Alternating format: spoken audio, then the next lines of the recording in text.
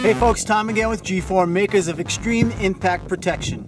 Many of you have been asking to see a drop test of our new Extreme iPhone case. Uh, this is the Extreme iPhone case for iPhone 5, and today we're going to be doing the most extreme drop test ever conducted with an iPhone case. Here we are in the desert, we got some tracking devices here. We're going to send this one up as far as we can, uh, give it a drop, see how well it's protected, jump in the helicopter, go find it, and show you the results. Everybody good? All right, here we go.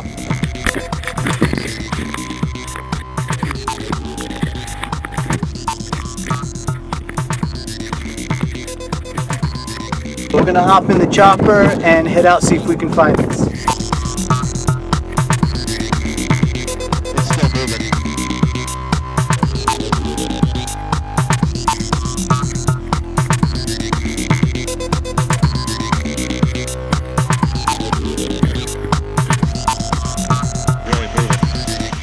We're barely catching it.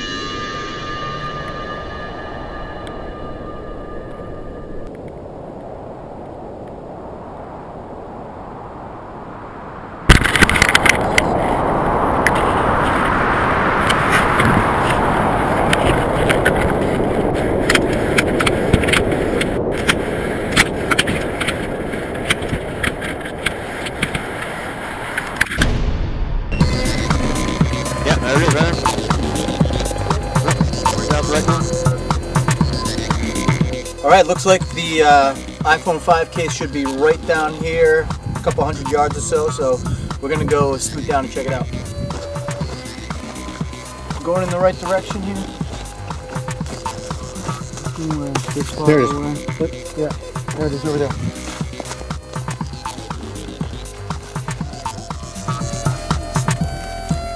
Here it is, kind of